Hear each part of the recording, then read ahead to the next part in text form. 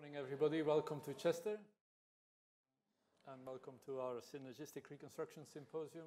Uh, happy to, to be here, and for those of you coming back from, or coming from Manchester, it was uh, good that you, you guys had a coach, and for those from further afield, that's even more amazing that you're all here. So uh, thank you. Uh, I'd like to start off with uh, thanking my co-chairs really. Uh, so Harry, who unfortunately was not feeling very well, so hopefully he will be able to show up later. Jakob, uh, uh, Christoph and Richard, you will see them later on. I'll ask them to present something uh, in case you don't know them. And then the organizing committee for uh, inviting uh, a good section, selection of, of speakers to, to get us all interested and, and sorry, I'm obviously not doing very well yeah.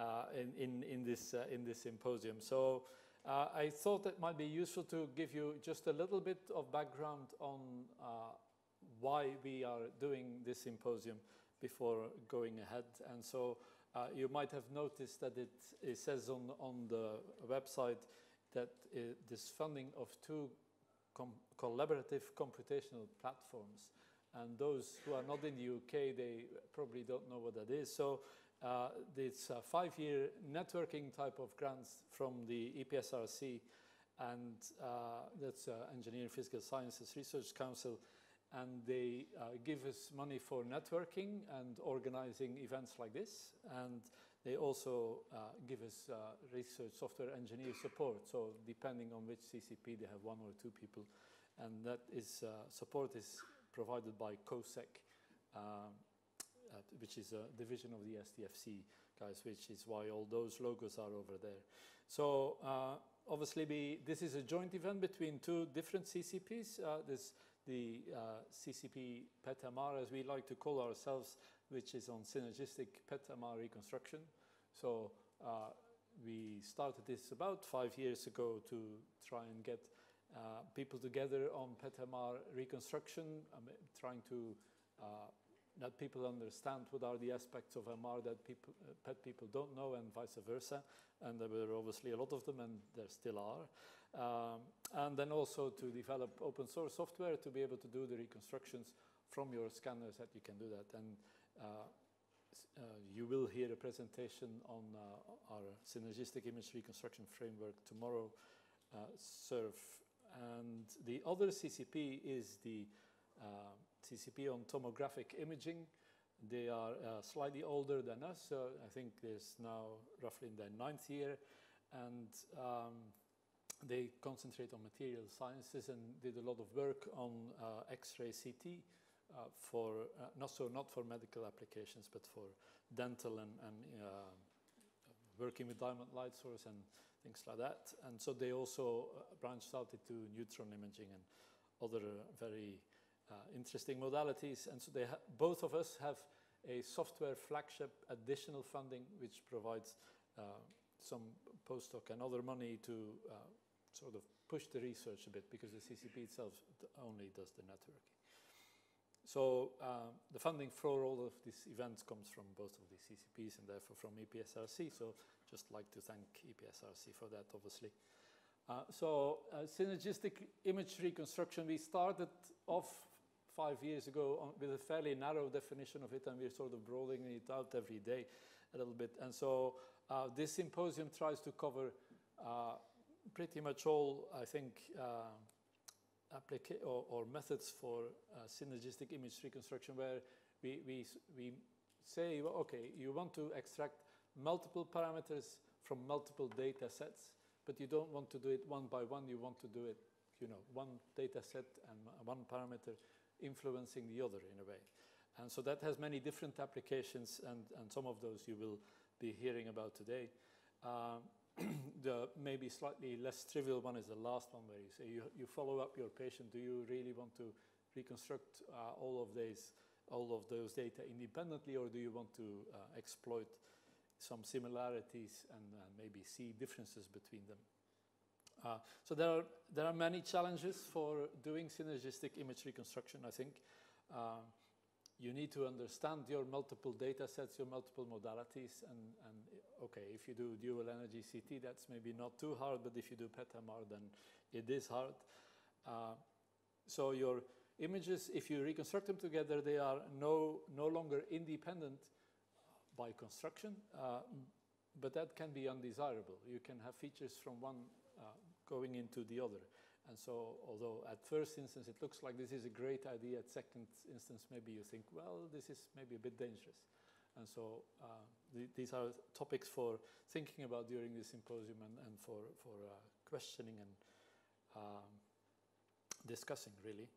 Uh, obviously, it needs a lot of algorithmic developments, and uh, that's, I think, what we, we are here to discuss and, and to learn from each other, because often you know, you see a paper in, in, in uh, multi-energy CT and then you say, well, actually this could apply to PET-MR or whatever as well. Uh, so a lot of the methods are directly transferable with some changes, obviously. And then finally, it needs a lot of software uh, to be able to do this on, on the data from your scanner. And so we have a, a, session with some overview on software and then the training school in the later two days uh, to uh, help you uh, with our, our own software. Uh, okay, so our agenda for today, uh, it's, we start with two educational sessions because we thought it would be, because we try and put people together from different fields, we thought it would be good to let people learn a little bit from other fields first. So those are 40 minute, roughly, uh, uh, presentations, including uh, answers, questions and answers.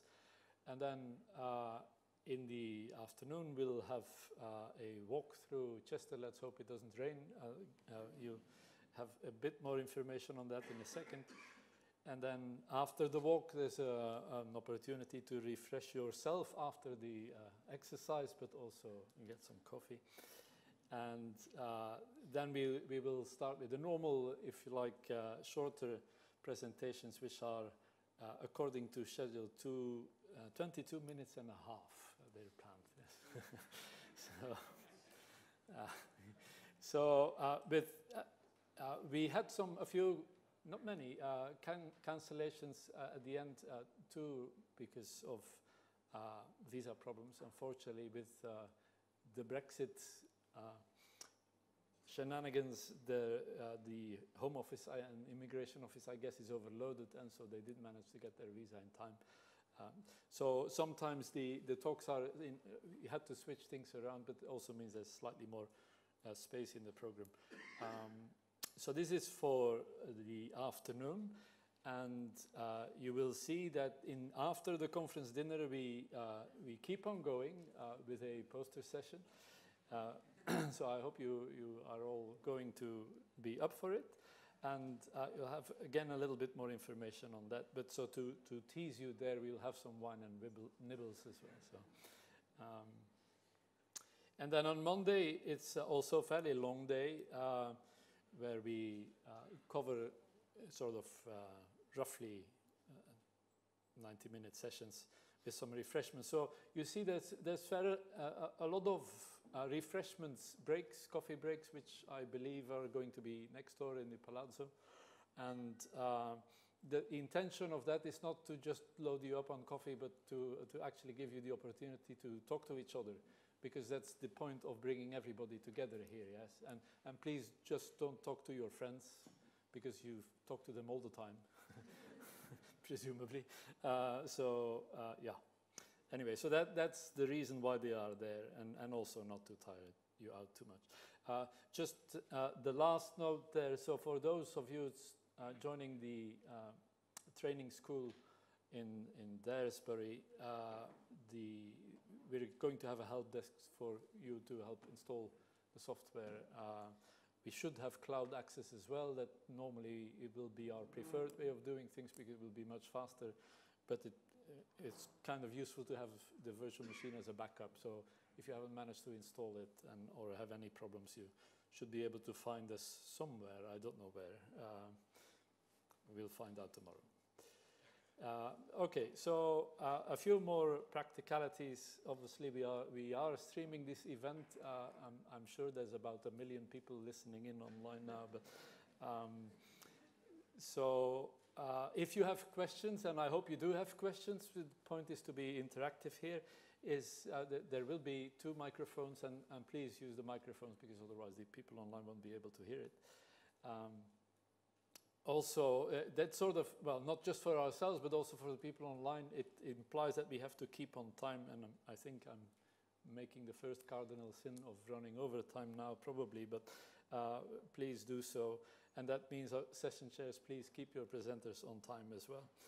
Uh, nevertheless, uh, participants, the, the point here is to interact, yes, and, and to ask questions after every session. So uh, let's not run over your allocated time of, uh, believe, 18 minutes for your presentation, such that we have uh, four and a half minutes for questions and answers.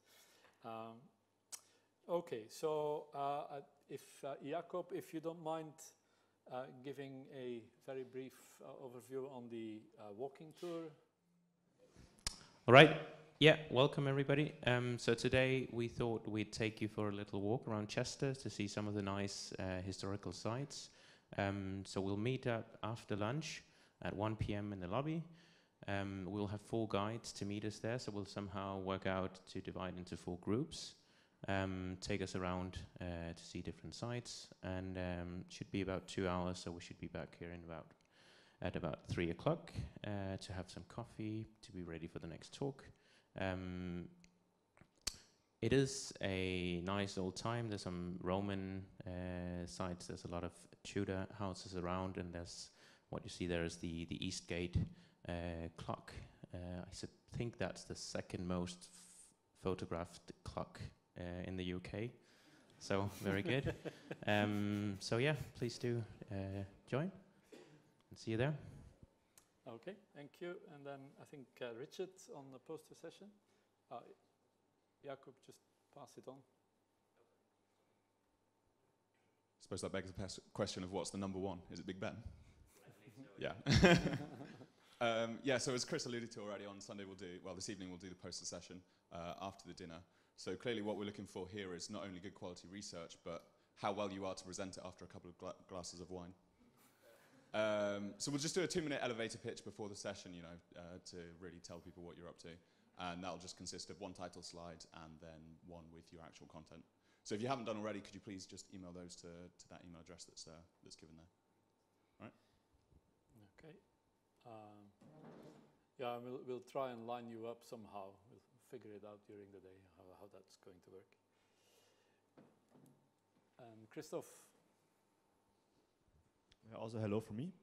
Um, so we got all these posters. Of course, we want to um, award um, the, the best poster also here in part of the symposium. So as you can see, it's um, we're going to have three prizes, starting from 300 pounds to down to 100 pounds. Um, the way we're to um, select the best poster will be by you picking the best poster. And I hope all of you got this little gold star uh, sticker. If not, then please go to, uh, to the registration desk again and pick one up. And um, you will have the opportunity to put this sticker on the poster, so quite old school. Um, if you put it on a poster, um, please put it also so that I can see that, because in the end I have to count them. Um, so don't put them on top of each other, that doesn't really make much sense. Um, you can not just, of course, you will hear the pitches today, you can talk to presenters, and then you have time basically from this evening up to um, tomorrow the after the first refreshment break, so 10.30, to put your sticker up. Then I will count them, and just before we go for lunch, we will award then the best poster awards. Yeah. Okay, great, thank you. Um, good, so uh, just uh, before we, we really start going, uh, a few uh, other things. So uh, I've, I've asked Georg Schramm uh, to, to make a few pictures. I hope you don't mind. If you do mind, maybe let us know, and then we will probably distribute those later on or even put a few on the website. Uh, clearly, we are streaming the event, so presenters, I don't think anybody has said they don't want that, but it's kind of a little bit late, but you can still say that you don't want your presentation to be streamed. And then also, if you don't want us to put them up on, on the website later on, because our plan is to put all of these available. Uh, it's all publicly funded after all, so, you know, uh, we need to make sure that it's worth it. Um, and then uh, I think uh, it's, I just want to uh, thank uh, Christoph, Harry, and Jakob again. And then I also like to thank uh, the STFC people. Uh, that's uh, Georgia is sitting there. Yes, please, Georgia, come to the front because we did manage to sort something out. yes, yes, yes.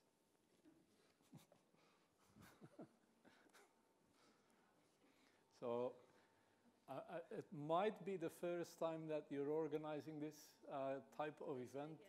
Yes, but you did amazingly well, so we thought we would uh, need to give you you a little thank you for that. Thank you.